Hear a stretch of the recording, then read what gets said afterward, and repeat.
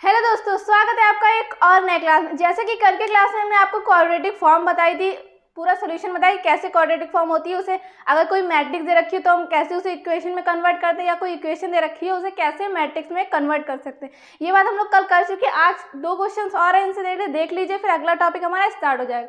तो question number first है, हमारा हमें एक मैट्रिक दे रखी है जो कि थ्री क्रॉस थ्री की है the quadratic form will be इसकी क्वाड्रेटिक फॉर्म में हमें कन्वर्ट करना है। तो देखिए मैट्रिक्स हमारी थ्री क्रॉस थ्री की है। तो कल हमने आपको फॉर्मूला बताया था, क्या होता है? A one one and X one का square and A two two और एक्स टू का square A three three X three का स्क्वायर और फिर हमने आपसे कहा था कि दो जो वैल्यूज़ आती है, वो सेम होती है, जैसे A one A one two equal to two one तो इसे हम लोग ऐड करके लिख लेते हैं तो आ जाएगा plus two A one two X one X two plus का two A A one three X one and X three फिर two X two three X two and X three हमने ये आपको थ्री क्रॉस थ्री के लिए formula बताया था जब होती है। मैट्रिक्स हमारी थ्री क्रॉस थ्री की जो होती तो यहाँ पे देखिए ए वन वन की वैल्यू हमारी कितनी रही? थ्री तो हमने लिख लिया थ्री और एक्स वन का स्क्वायर ऐसे ही लिखा रहा है। एक्स एक्स टू टू की वैल्यू हमारी थ्री थी एक्स थ्री थ्री की वैल्यू हमारी फाइव थी। अब एक्स वन टू की वैल्यू हमारी देखिए, एक first row and second column की वैल्यू वन थी हमारी। तो वन अब फॉर्मूले में हमारे two X one and X two आता ही है तो two X one X two ऐसे लिखा रहा वन से कोई भी इफ़ेक्ट नहीं पड़ा। और यहाँ पे देखिए एक्स वन थ्री की वैल्यू हमारी क्या थी? फ़र्स्ट रो या थर्ड कॉलम माइनस का वन थी। और हमारे फॉर्मूले में होता है प्लस का two X X one and X three तो यहाँ पे माइनस का निशान लग गया वैसे ये, ठीक है? तो क्या करा हमने? थ्री क्रॉस थ्री की हमें एक मैट्रिक दे रखी थी हमें फॉर्मूला पता था पहले हम लोग डायगनल में जो स्क्वायर थे one one and X one का square A two two X two का स्क्वायर वैसे ही हम लोग फॉर्मूला लिखा। फिर उसके बाद फॉर्मूले के जो हमें मैट्रिक दे उसी के अकॉर्डिंग हमने एक इक्वेशन बना दिया। सेकंड क्वेश्चन देखिए, हमारा क्या है? डिटरमाइन द सिमेट्रिक मैट्रिक्स हमें एक सिमेट्रिक मैट्रिक दे रखी है। सॉरी सिमेट्रिक मैट्रिक्स हमें डिटरमाइन यानी कि सिमेट्रिक मैट्रिक हमें फाइंड करनी representing the following real quadratic form हमें एक क्वाड्रेटिक फॉर्म दे रखी है। उसी के अकॉर्डिंग हमें एक सिमेट्रिक मैट्रिक फाइंड करनी है। तो देखिए, इसी इसी को हम इसी फॉर्मूले से कंपेयर करते हैं। ए वन वन की वैल्यू देखिए एक्स वन लिखा है एक्स वन लिखा है एक्स स्क्वायर लिखा है। ए वन वन की जगह हमारा क्या लिखा है? टू तो ए वन वन की वैल्यू हो गई टू एंड एक्स स्क्वायर लिखा है एक्स स्क्वायर लिखा है। यहाँ पे टू टू की जगह पर हमारा क्या लिखा है? Two and A A three three लिखा है एक्स क्यूब लिखा है एक्स क्यूब लिखा है ए थ्री थ्री की जगह हमारा क्या लिखा है? फाइव ठीक है, समझ में आया कैसे आया? And two A A one two की जगह देखिए क्या लिखा है? टू लिखा है। टू तो ऐसे ही रहेगा एक्स वन एक्स टू भी ऐसे यहाँ पे टू एक्स्ट्रा चल रहा है। ठीक है तो टू ए वन टू की वैल्यू क्या हो जाएगी? टू एंड अगला है हमारा ए वन थ्री ये रहा. A one three two A two X one X three तो ऐसे ही लिखा रहा है। यहाँ पे माइनस वन एक्स्ट्रा चला, क्योंकि फॉर्मूले में हमारा प्लस होता है तो क्या माइनस वन एक्स्ट्रा चल रहा है? तो ए वन थ्री की वैल्यू हमारी हो जाएगी माइनस का वन एंड अगला हमारा है एक्स टू एक्स थ्री तो two X two X three हमारा फॉर्मूले वाला, इसमें भी माइनस वन एक्स्ट्रा चल रहा है। तो टू ए टू थ्री की वैल्यू जो हमारे रहेगी माइनस वन जाएगी। और हमने आपको बताया था A one two A two one के बराबर होता है and A A one three A three one के बराबर होता है, ये हमारे फॉर्मूले होते हैं। और ए ए टू थ्री हमारा थ्री टू के बराबर होता है। ये हम आपको जब हमने डिटेल में बताया तो हमने आपको बताया था, उसी के अकॉर्डिंग देखिए ए वन वन की जगह में लिखा ए ए वन टू की जगह सारे हम इसी के अकॉर्डिंग इसमें पुट कर देंगे। तो ये हमारी एक मैट्रिक्स बन गई। तो हमने दो ही तरीके के आपको क्वाड्रेटिक फॉर्म में क्वेश्चन बताया कि पहला मैट्रिक्स से क्वाड्रेटिक फॉर्म बनाना है सेकेंड था क्वाड्रेटिक फॉर्म से मैट्रिक्स में कन्वर्ट करना। तो उम्मीद करते हैं इतना तो आपको समझ में आ गया। अगला टॉपिक क्या है? अगला टॉपिक है हमारा solution of system of linear equation या कह सकते हैं अगला चैप्टर है हमारा सोल्यूशन ऑफ़ लीनियर इक्वेशन तो इसमें तीन इसमें तीन टाइप के सवाल होंगे हमारे। हम आपको तीनों तो नहीं लगवाएँगे एक सवाल डिटेल में बताएँगे कि एम पेपर आता है सेकेंड सेमेस्टर वालों का। एक हम आपको डिटेल में क्वेश्चन बताएँगे वर्किंग रूल पूरा, जिनके लिए पेपर डिस्क्रिप्टिव है, उनके लिए सवाल इंपॉर्टेंट क्योंकि जो हमने सवाल लिया है, हमारे पंद्रह नाइन्टी, पंद्रह सत्रह या सोलह में क्वेश्चन आया हुआ तो ये वाला क्वेश्चन हमारा इंपॉर्टेंट है। हम ये नहीं कह रहे कि क्वेश्चन यही आएगा, लेकिन इस मेथड पे आएगा, बस वो नंबर्स चेंज कर देंगे। लेकिन तरीका यही लगेगा, कोई भी नंबर दो, कोई भी डिजिट हो, सब में मेथड यही लगेगा। तो जिनका पेपर डिस्क्रिप्टिव हो, ये डिटेल से समझ लें। तो इसमें हमारे तीन टाइप के रूल लगते हैं। फ़र्स्ट रूल है रैंक ए इक्वल आनी चाहिए रैंक बी के और इक्वल आएँगे नंबर ऑफ़ वेरिएबल अब rank A rank B number of variable क्या है? ये हम आपको इस क्वेश्चन में बताएँगे। पहले आप समझ लीजिए कि लिखा क्या है। ये जब हमारे तीनों इक्वल हो जाएँगे तो द सिस्टम ऑफ़ इक्वेशन जो होगा, वो आर कंसिस्टेंट आएगा। और इसके जो सोल्यूशन आएँगे, वो यूनिक सोल्यूशन आएगा। क्या जब हमारे rank A rank B and number of variable equal होंगे तो हमारा सोल्यूशन जो है सॉरी जो हमारी इक्वेशन है वो कंसिस्टेंट आएगी एंड सोल्यूशन हमारा कैसा आएगा? यूनिक एंड सेकेंड क्या है? सेकेंड रूल है रैंक ए रैंक भी बराबर होंगे. बट नंबर एंड वेरिएबल जो हमारा निकल, वो उससे बड़ा निकल के आएगा जब ग्रेटर देन जैसे कि then the system of equation are जो है तब हमारी कंसिस्टेंट होगी. बट जो सोल्यूशन आएगा वो इनफाइनाइट आएगा. ये यूनिक इनफाइनाइट वो हम बताएँगे आपको सवाल में कि कैसे आएँगे. ठीक है? एंड थर्ड रूल है हमारा the rank A and rank B not equal to जब रैंक ए और बी जब इक्वल नहीं आएँगे तो द सिस्टम आर इनकन्सिस्टेंट आएगा हमारा। एंड सोल्यूशन है, जब सिस्टम इनकन तो सोल्यूशन कोई होगा तो इसलिए नो सोल्यूशन आएगा। अब ये रहा आपका क्वेश्चन अब हम आपको बता दें क्वेश्चन में करना क्या है। हमें, हमेशा आपको इस क्वेश्चन में कहा आएगा solution of equation by the matrix method ये हमारा मैट्रिक्स मेथड है। से हम इसे सॉल्व करेंगे। With the help of element operation element operation जैसे कि आप ऑपरेशन लगाते हैं रो रो ऑपरेशन भी होता है, कॉलम में कभी कभी लगाते हैं कभी कभी आप दोनों में भी लगाते हैं। ठीक है तो उसी पहले हम इसे मैट्रिक्स में कन्वर्ट करेंगे, कैसे करेंगे? हमने मान लिया एक मैट्रिक्स है। ये जो नंबर ऑफ़ वेरिएबल का मतलब समझिए क्या होता है। नंबर ऑफ़ वेरिएबल मतलब एक्स, वाई, जेड।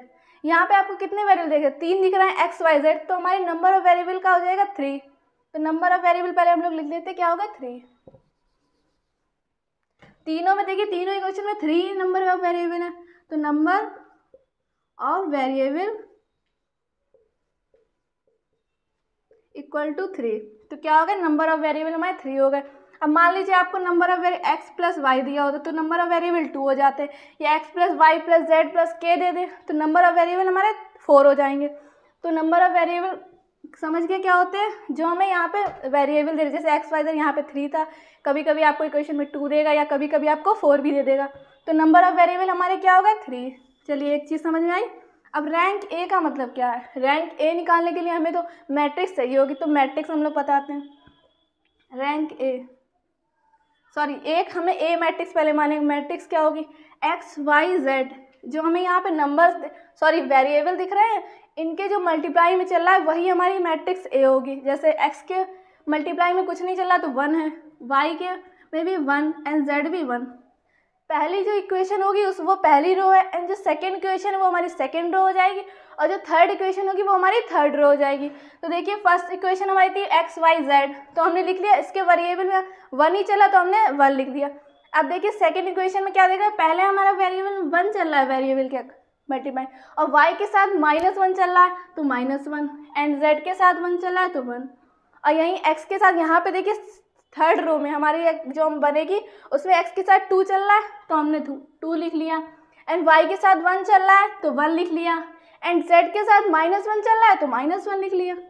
तो ये हमारी क्या हो गई? मैट्रिक्स ए ठीक है? नंबर ऑफ़ वेरिएबल हो गए मैट्रिक्स ए बना ली, इसी से हम लोग रैंक ए निकालेंगे। बट अब रैंक बी क्या है? वो भी आपको बता दें रैंक बी का मतलब हमें एक मैट्रिक्स और चाहिए होगी। अब वो कहाँ से? देखिए रैंक ए वाली मैट्रिक्स तो यही रहेगी। ये जो रैंक ए है, वो हम इसमें पहले लिखेंगे। क्या है? One one one and one and minus one one two one minus one ये हमारी क्या हो गई? ये अभी मैट्रिक कंप्लीट नहीं हुई, ये हमारी रैंक ए हो गई। ये नंबर ऑफ़ वेरिएबल हो गए अब मैट्रिक जो बी बनेगी, वो पहले तो जो मैट्रिक्स ए होगी, हम वही लिख दी।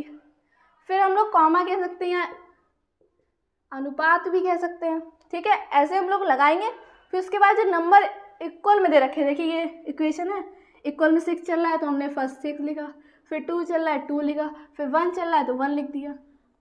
तो ये हमारी होगी रैंक भी अभी तक क्या करा क्वेश्चन में? कुछ भी नहीं करा, ये तो आपको पढ़ना ही पड़ेगा थोड़ा बहुत। बाकी हमने करा के देखिए, पहले उन्होंने कहा था नंबर ऑफ़ वेरिएबल तो हमने नंबर ऑफ़ वेरिएबल क्या बताया?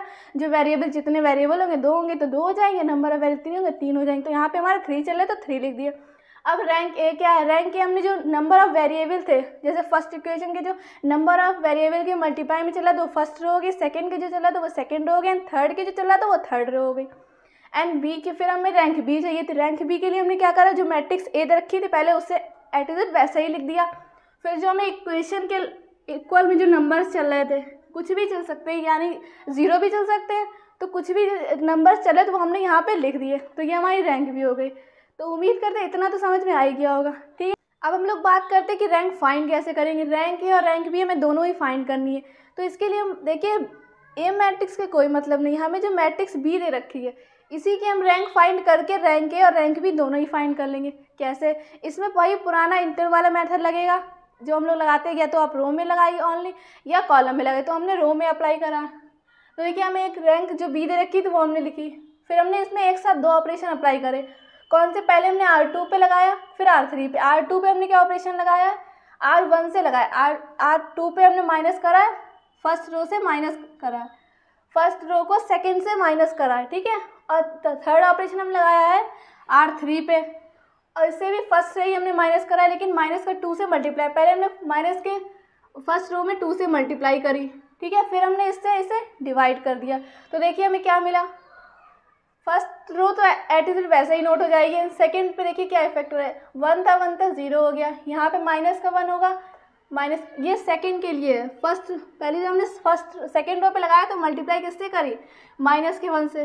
तो यहाँ पे माइनस का वन हो गया, minus one minus one, minus six तो minus one minus one zero हो गया। Minus one and minus two हमारा टू हो गया। और माइनस वन और वन ज़ीरो हो गया, ठीक है? और माइनस का सिक्स एंड टू माइनस का फोर अब फिर क्या करा हमने? थर्ड के लिए। माइनस के टू से मल्टीप्लाई करी, जैसे कि लिखा हुआ है, या यहाँ भी हमने लिख रखा है। तो अब माइनस का टू हो गया और प्लस का टू ज़ीरो। माइनस का टू और वन वन, माइनस का टू और माइनस का वन, माइनस का थ्री हो जाएगा। सॉरी हाँ माइनस का थ्री। ठीक है, फिर हमने क्या करा देखिए? उसके बाद हमने फिर जो हमें मैट्रिक्स भी वो हमने लिखी। फिर हमने क्या करा? इस पर एक और ऑपरेशन अप्लाई करा। क्या करा? आर टू पे करा। क्या करा? आर टू पे हमने लगाया। माइनस के वन बाई टू, यानी कि वन बाई टू से डिवाइड करा इसके माइनस के। उससे देखिए क्या फ़र्क पड़ेगा हमारी मैट्रिक जो सेकेंड थी टू पे अप्लाई करा है तो यहाँ पे वन बचेगा। डिवाइड करेंगे जब। यहाँ पे कोई इफ़ेक्ट नहीं पड़ेगा, यहाँ पे हमारा माइनस का फोर है मल्टीप्लाई करेंगे माइनस के वन से माइनस माइनस कैंसिल है टू टू मिला, हमने टू लिख लिया। और हमने थर्ड पे जो ऑपरेशन लगाया, वो हमने क्या लगाया? माइनस वन से जो हमने क्या करा? मल्टीप्लाई कर दी। क्यों कर दी? यहाँ पे देखिए सारी वैल्यू में माइनस में चल रही तो हमने मल्टीप्लाई करके सारी वैल्यू प्लस में बना दी। तो देखिए, सारी वैल्यू प्लस में हो गई। अब हमने क्या करा? आर थ्री पे फिर ऑपरेशन अप्लाई करा। ये ऑपरेशन हम लोग कब तक अप्लाई करते हैं? जब तक रो हमारी ज़ीरो नहीं बन जाती। और जहाँ पे जैसे हमें लगता है कि अब ज़ीरो नहीं बन पाएँगे वहीं पे हम ये ऑपरेशन रोक देते हैं। तो देखिए, यहाँ पे एक ज़ीरो और बन रहा था। तो हमने क्या करा? आर थ्री पे ऑपरेशन अप्लाई करा। टू माइनस आर थ्री को हमने टू से माइनस करा। अब देखिए, ये ज़ीरो ऐसे ही रहा। माइनस टू करा तो यहाँ पे ज़ीरो बन गया। यहाँ पे कोई फ़र्क नहीं पड़ा। यहाँ पे माइनस का जब इलेवन में से माइनस का टू करा तो हमारा नाइन बचा। अब देखिए इससे ज़्यादा हम इसमें ज़ीरो नहीं बना सकते। देखिए, हम आपको चेक भी करके दिखाते हैं। अगर हम इस, इसको ज़ीरो बनाने जाएँगे थ्री को तो इसमें हम थ्री से मल्टीप्लाई करनी पड़ेगी। करनी पड़ेगी, और जब थ्री से मल्टीप्लाई करेंगे तो हमें ये तो ज़ीरो बन जाएगा, लेकिन यहाँ पे थ्री थ्री ज़ीरो क्योंकि थ्री से मल्टीप्लाई यहाँ हो यहाँ ऐड करेंगे तो हमारे ये बन जाएँगे। तो इससे ज़्यादा हम इसमें ज़ीरो नहीं बना सकते। तो अब देखिए क्या करेंगे। तो हमारे रैंक और रैंक भी फाइंड कैसे करेंगे हम आपको बताते हैं। हमने जैसे कि आपको बताया था रैंक ए जो थी, हमारी इतनी थी। और बाकी पूरी रैंक बी हमने मैट्रिक्स बी बनाई तो रैंक ए के लिए देखिए, जो ये आपको दिख रहा है, इसमें कितनी रो ज़ीरो है? एक भी रो ज़ीरो नहीं है, ठीक है? कोई भी रो ज़ीरो है तो रैंक ए हमारी हो जाएगी थ्री थ्री क्रॉस थ्री की मैट्रिक्स है, कोई भी रो हमारी ज़ीरो नहीं तो रैंक कितनी हो गई? थ्री अब रैंक बी के लिए क्या करेंगे? रैंक बी के लिए जो हम लोग पूरी मैट्रिक्स को देखेंगे, इसमें भी देखिए कोई भी कोई भी हमारी रो ज़ीरो नहीं है तो रैंक बी क्या हो जाएगी?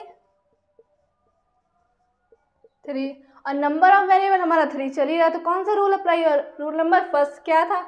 अब देखिए हम ऐसे ही इसे लिख देंगे इफ़ रैंक ए बराबर rank B equal to number of variable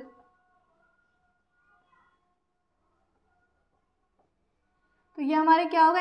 आप इसे यहाँ पे जगह तो आप इसे इक्वल में ही लिखिएगा, जैसे हमने ये लिख रहा है। और फिर सेम यही लाइन हम यहाँ लिख देंगे, जैसे देखिए देन द सिस्टम ये पूरी लाइन आप यहाँ तक लिख दीजिएगा। Consistent have a unique solution अब कंसिस्टेंट तो आपको समझ में आ गया, ये भी सिस्टम का अब यूनिक सोल्यूशन क्या है? ये पूरी लाइन आप एट इज़ ऐसे ही यहाँ पे नोट कर दीजिएगा, ठीक है? अब देखिए, हम लोग बता दें कि हम, आपको पता है यूनिक सोल्यूशन का क्या मतलब है।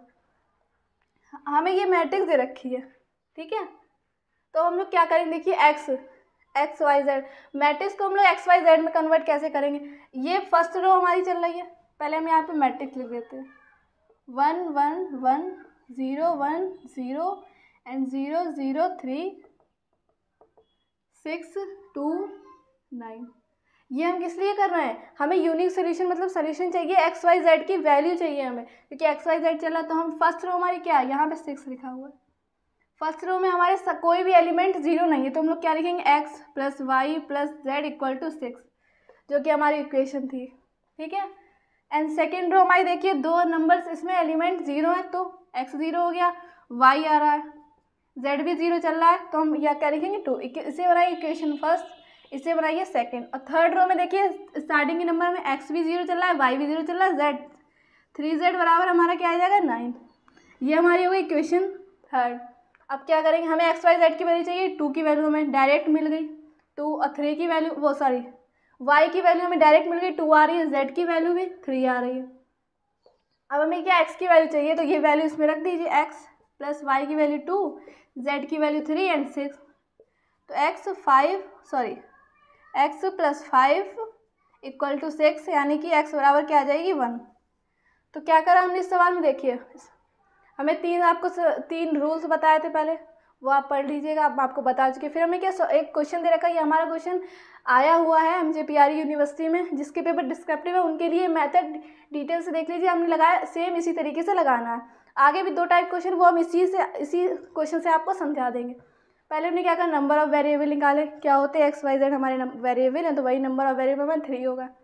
फिर हमने मैट्रिक्स ए बनाई, जो नंबर्स ऑफ़ वेरिएबल थे, उसी के मल्टीप्लाई में जो उससे मैट्रिक्स ए बनाई। मैट्रिक्स भी बनाई गई जो मैट्रिक्स ए थी, पहले एट ज़ीरो से वैसे ही लिख दिया। फिर जो हमारे इक्वल में चल रही थी इक्वेशन के इक्वल वही लिख दी। फिर हमने मैट्रिक्स बी को सॉल्व करा, वही पुराना इंटर वाला मेथड लगाया अप्लाई करा ऑपरेशन सारे रो में ऑपरेशन अप्लाई करे। फिर हमने जो मैट्रिक्स निकल के आई थी रैंक बी के लिए क्या करा? जो जो हमें ए मैट्रिक्स थी, उसके जितने एलिमेंट थे, उससे हमने रैंक ए निकाली। एंड रैंक बी के लिए हमने पूरी मैट्रिक्स को देखा रैंक बी दोनों की जब रैंक इक्वल आ गई नंबर ऑफ़ वेरिएबल तीनों ही इक्वल आ रहे तो हमने फ़र्स्ट वाला रूल पूरा लिख दिया।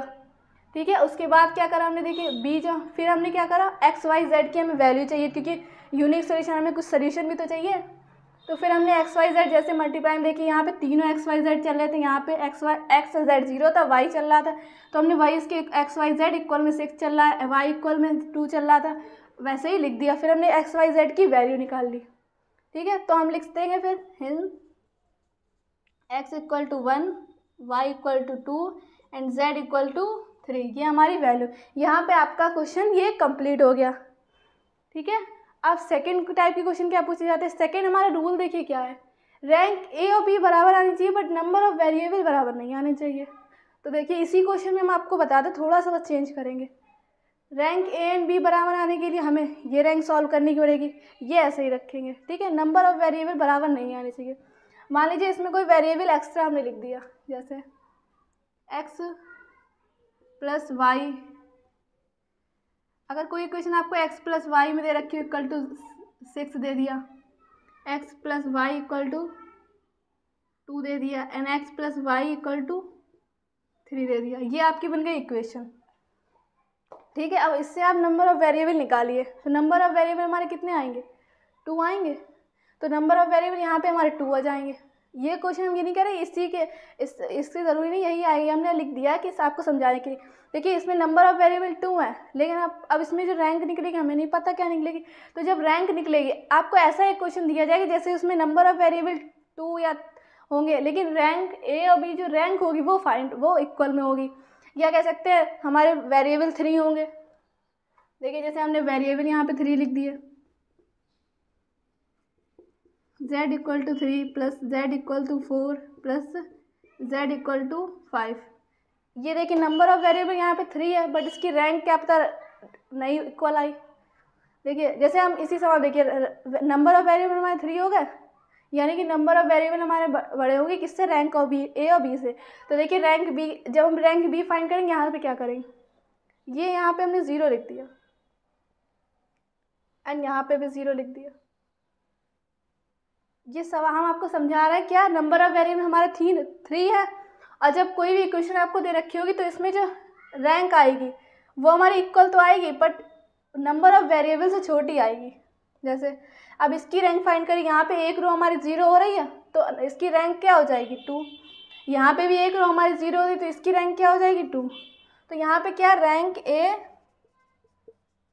A equal to rank B but not equal but जो है, जो नंबर ऑफ़ वेरिएबल है, वो बड़ा है हमारे रैंक और ए और बी से। तो क्या नंबर ऑफ़ वेरिएबल तो ये फार्मूला हमारा अप्लाई हो जाएगा इसमें? तो देखिए, ये फार्मूला हमने अप्लाई कर दिया। कैसे करा? नंबर ऑफ़ वेरिएबल यहाँ पे थ्री थे। आपको समझाने के लिए बस हमने इसमें थोड़ा सा चेंज किया। क्या किया? देखिए, यहाँ पे हमने ज़ीरो रो कर दी लास्ट वाली। तो इसकी रैंक ए की हमारी टू निकल आई या रैंक बी भी हमारी टू निकल गई अब इसमें जो क्या है इन्फानाइट सोल्यूशन का क्या मतलब है? अब हम आपको बता दें इन्फानाइट सोल्यूशन का क्या मतलब है? इसमें जो सोल्यूशन आएगा, वो इन्फाइनाइट आएगा। कैसे आएगा, वो देखिए।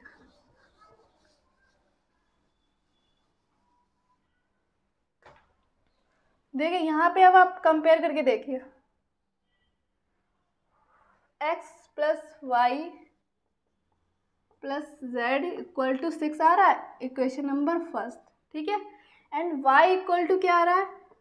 टू अब इससे ज़्यादा इक्वेशन तो इसमें बने क्योंकि इसमें लास्ट रो हमारी ज़ीरो चल रही है। ये सेकेंड टाइप का क्वेश्चन है, ध्यान से समझिएगा। तो क्या x plus y z equal to six है? सही है। And y equal to two है। अब इसमें हमें टू इक्वेशन ही बनना है थ्री नहीं बनना है। तो अब देखिए, इसमें अगर हम वाई की वैल्यू रखें तभी हमें वैल्यू नहीं मिलेंगी। तो हम इसमें देखिए क्या करते हैं। इस टाइप पे जब कभी भी आपको क्वेश्चन दिया तो आपको लेट करना पड़ेगा। कोई भी एक चीज़, जैसे हमने एक्स बराबर लेट कर लिया एक्स स्कल टू हमने के लेट कर लिया। इस टाइप के क्वेश्चन में आपको ये करना ही पड़ेगा, वरना आपको सोल्यूशन मिलेगा ही नहीं। लिखा ही है इनफाइनाइट सोल्यूशन आपको इसके सोल्यूशन जो निकलेगा वो फाइनाइट नहीं होगा। अब के यहाँ पे क्या है where k equal to one plus minus one plus minus two and n तक जाएगा। इसी का मतलब होता है इनफाइनाइट सोल्यूशन की हमें पता ही नहीं ये सोल्यूशन जा कहाँ तक रहा है। तो क्या देखिए, हमने लेट करा एक्स बराबर के अब हमें क्या एक्स की वैल्यू मिल गई? और वाई की वैल्यू मिल गई अब हम लोग जेड की वैल्यू निकाल सकते हैं देखिए एक्स और वाई की वैल्यू इक्वेशन वन में रखी है। फ्रॉम फ़र्स्ट एक्स की वैल्यू क्या है? के एंड वाई की value two and z equal to six अब इसे सॉल्व ये जेड है। K plus z equal to six minus two तो देखिए जेड की जो वैल्यू हमारी आएगी आएगी फोर माइनस का के जेड की वैल्यू मिल गई? एंड एक्स की वैल्यू पता है वाई की वैल्यू तो हम लोग क्या लिखेंगे? देखिए इन x equal to k and y equal to two and z equal to four minus k where k equal to plus minus one plus minus two and plus minus three कुछ भी हो सकता है एन तक, ठीक है? क्या था सेकेंड टाइप के क्वेश्चन में हमने आपको बताया? फ़र्स्ट टाइप को तो समझाइए सेकेंड में क्या? नंबर ऑफ़ वेरिएबल हमारा थ्री है। नंबर ऑफ़ वेरिएबल बड़ा होगा rank A and rank B से। तो नंबर ऑफ़ वेरिएबल थ्री है। और जब हम किसी भी आपको जो क्वेश्चन देगा, उसमें जो है नंबर ऑफ़ वेरिएबल थ्री नहीं आएगा। ज़रूरी नहीं थ्री आए टू आ सकता है, लेकिन रैंक उससे कम आएगी। बस ये होगा कि नंबर ऑफ़ वेरिएबल बड़ा होगा रैंक ए और बी से। और फिर हमने क्या कहा? इसी इक्वेशन में थोड़ा सा चेंज करा क्या? लास्ट रो पूरी ज़ीरो कर दी। हालाँकि इस इक्वेशन में होगी जो आपको इक्वेशन देगा, उसी में होगी। तो हमने लास्ट रो ज़ीरो करी तो रैंक ए और बी की कैसी आई? टू आई और नंबर ऑफ़ वेरिएबल हमारा थ्री आया। तो हमने फॉर्मूला लिख दिया और सेम यही आप पूरा रूल लिख लीजिएगा। आप जब आपका ये रैंक ए और रैंक बी फाइंड हो जाए तो आप क्या लिखेंगे? If rank A equal to rank B and greater number of variable then the system of equation are consistent and have infinite solution और इनफाइनाइट सोल्यूशन कैसे है जब हमने इसकी इक्वेशन बनाई तो हमें एक इक्वेशन दो इक्वेशन ही मिली। ठीक है? तो हमने क्या करा? एक इक्वेशन अब इक्वेशन बनाने के लिए हमें एक एक चीज़ लेट करनी पड़ेगी, वरना हमें वैल्यू नहीं तो हमने लेट करा के x equal to k where k क्या है? X one two three n तक जाए क्योंकि इनफाइनाइट सोल्यूशन उसने पहले ही कह दिया। जब हम इस जब कभी भी ये कंडीशन अप्लाई होगी तो उसका सोल्यूशन इनफाइनाइट आएगा। ठीक है? फिर उसके बाद हमने के लेट करा तो हमें एक्स और वाई की वैल्यू मिल गई तो हमने वैल्यू इक्वेशन वन में पुट करी और जेड की वैल्यू निकाल ली तो जेड की वैल्यू जो हमें आई, फिर हमने निकाली एक्स बराबर के वाई बराबर टू है जेड बराबर के माइनस सॉरी फोर माइनस के ठीक है? Where k is a plus minus one, two, n तक जाएगा इनफाइनाइट सोल्यूशन ठीक है? तो उम्मीद करते हैं सेकेंड टाइप का क्वेश्चन भी आपको समझ में आ गया होगा कोई भी अगर डाउट हो तो नीचे कमेंट कर दीजिएगा, आपको हम फिर से समझा देंगे। एंड सेकेंड थर्ड टाइप का क्वेश्चन क्या है? थर्ड रूल हमारा क्या कह रहा है? If rank A and B not equal then the system are inconsistent and have no solution क्या मतलब हुआ? इसमें जब कोई भी हमें मैट्रिक्स दे रखी उसकी रैंक ए और बी ही बराबर नहीं आएगी, जैसे देखिए कोई भी इक्वेशन हो।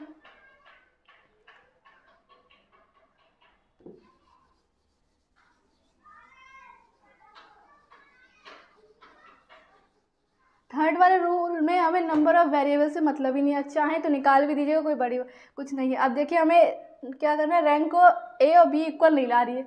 मान लीजिए, हमें कोई इक्वेशन दे रखी है जिसकी हमने सॉल्यूशन डायरेक्ट लिख रहा है। नंबर ऑफ़ वेरिएबल कुछ भी हो सकता है।